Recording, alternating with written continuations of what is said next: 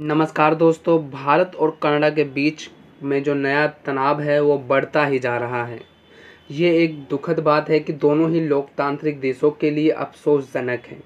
शुरुआत जो है एफटीए से हुई, यानी फ्री ट्रेड के लेकर जो डील होनी थी, उसको स्थगित करके हुई, जो कि अक्टूबर महीने में होनी थी, और अब कब होगी, इसकी कोई भी अब बात सामने नहीं है। और उसके बाद कनाडा के प्रधानमंत्री के द्वारा दिए गए अपने संसद में बयान से हुई।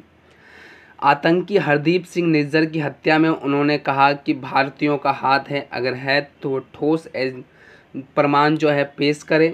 इसी के बाद उन्होंने जो है, वहाँ भारतीय डिप्लोमेट को कनाडा से निकाल दिया गया और उसके जवाबी पक्ष में जो है विदेश मंत्रालय के द्वारा कनाडा के डिप्लोमेट को जो है एडवाइजरी जारी की कि यहाँ से पाँच दिन में भारत से रवाना हो जाए। विवाद यहाँ थमने का नाम नहीं ले रहा है।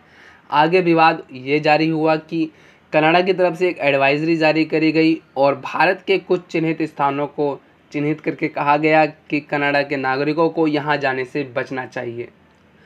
और फिर भारत ने जवाबी पक्ष में जो है एक एडवाइजरी जारी करी, वहाँ पे रहने वाले भारतीयों के लिए और कहा कि कनाडा के अंतर्गत जो है भारत विरोधी अत्य गतिविधियाँ अत्यधिक बढ़ रही है, जिसको लेकर उन्हें सतर्क रहना चाहिए।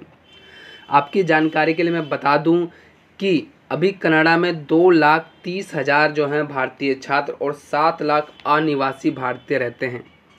और इनको किसी भी परेशानी से बचाना भारत सरकार की ज़िम्मेदारी है, जिसको लेकर के दिशा निर्देश जारी किए थे। और कनाडा के सरकार के द्वारा ये जारी एडवाइजरी जो है, उन्होंने खारिज कर दी, कहा, कि कनाडा सुरक्षित है सेफ़ है।